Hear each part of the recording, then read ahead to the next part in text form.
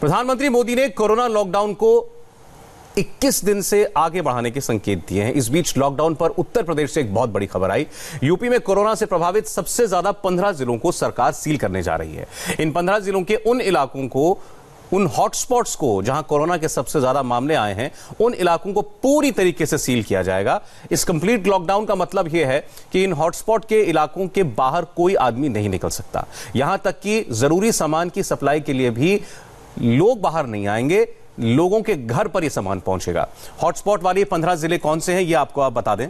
आगरा, लखनऊ, गाजियाबाद, नोएडा, कानपुर, वाराणसी, शामली, मेरठ, बरेली, बुलंदशहर, बस्ती, सहारनपुर, महाराजगंज और सीतापुर। ये वो ज़िले हैं जहाँ के डीएम, एसपी और पुलिस कमिश्नर्स की फ़िलहाल मीटिंग चल रही है और इस बैठक में प्लान ऑफ़ एक्शन बन रहा है और शाम पाँच बजे तक ये एक्शन प्लान जो है, ये मुख्यमंत्री योगी आदित्यनाथ को दिया जाएगा। यूपी सरकार के एसीएस होम अवनीश अवस्थी ने साफ़ किया कि पंद्रह जिलों के हॉटस्पॉट्स को ही कंप्लीट लॉकडाउन में रखा जाएगा। विशाल प्रताप सिंह हमारे साथ जुड़ गए। विशाल, थोड़ी सी कंफ्यूजन रही इस खबर में। पहले ये खबर आई कि ये पंद्रह ज़िले पूरी तरह सील होंगे। कोई अपने घर के बाहर नहीं निकलेगा, ज़रूरी सेवाओं के लिए भी बाहर नहीं निकलेगा। उसके बाद एक क्लैरिफिकेशन आया कि हॉटस्पॉट्स को लेकर ये लॉकडाउन आगे बढ़ाया जा रहा है। जरा, अब जरा क्लैरिटी से बताइए कि निर्देश क्या है?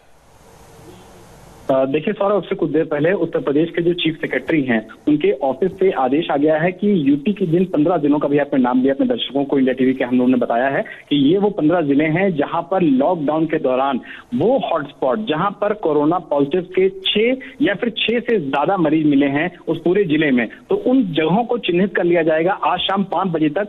जो जिला प्रशासन है, पुलिस एडमिनिस्ट्रेशन है, सबको निर्देश दे दिए गए हैं कि स्वास्थ्य विभाग के साथ उन हॉटस्पॉट को बाकायदा चिन्हित कर लिया जाए और ये वो हॉट स्पॉट होंगे जिनका लगभग डेढ़ से दो किलोमीटर का जो पूरा पेरिफेरी है जो पूरा रेडियस है उसको पूरी तरीके से सील किया जाएगा पंद्रह अप्रैल तक। यानी कि इस लॉकडाउन के पीरियड के बीच में भी जो ये हॉटस्पॉट होंगे यहाँ से अगर कोई भी शख्स बाहर निकलना चाहता है दवा खरीदने के लिए या कोई भी दूसरी सुविधा का इस्तेमाल करने के लिए तो फ़िलहाल उसको बाहर जाने की अनुमति नहीं होगी। कंट्रोल रूम में उसको कॉल करना होगा घरों में सारी सेवाएँ उसको पहुँचा दी जाएँगी लेकिन अगर एक सेवा को खाली इसमें एक्सक्लूड किया गया है वो ये है कि अगर कोई भी बहुत बड़ी मेडिकल इमरजेंसी आती है तो आदमी बाहर निकल सकता है केवल उसी सूरत में रिलैक्स रिलैक्सेशन दिया जाएगा वरना किसी को नहीं विशाल बहुत बहुत शुक्रिया आपका।